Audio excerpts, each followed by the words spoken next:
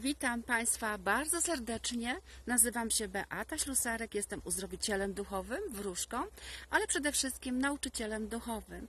I mam ogromną przyjemność zaprosić Państwa na mój pierwszy program w Mocy Magii z środy na czwartek w nocy o 2.30 w TVN7, a później o 3.50 w TVN.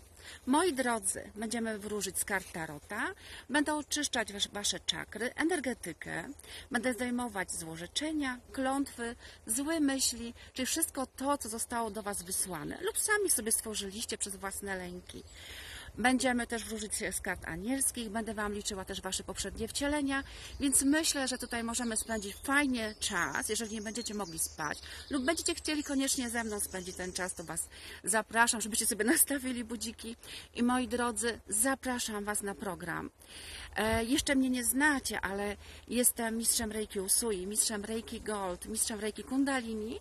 Pracuję z energią Ilachinor już od wielu lat i mam bardzo duże doświadczenie, jeżeli chodzi o uzdrawianie, ale też dużą skuteczność. Zatem myślę, że warto skorzystać z mojego programu, z mojej pomocy e, i wysłać do nas SMS. Moi drodzy, jestem w lesie, jest tutaj przepiękna energia, Matka Ziemia się budzi do życia, jest zielono, cudownie, ptaki śpiewają.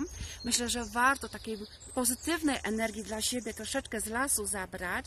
Ja się tutaj naładuję i Wam w nocy, z środy na czwartek ją też przekażę. Do zobaczenia.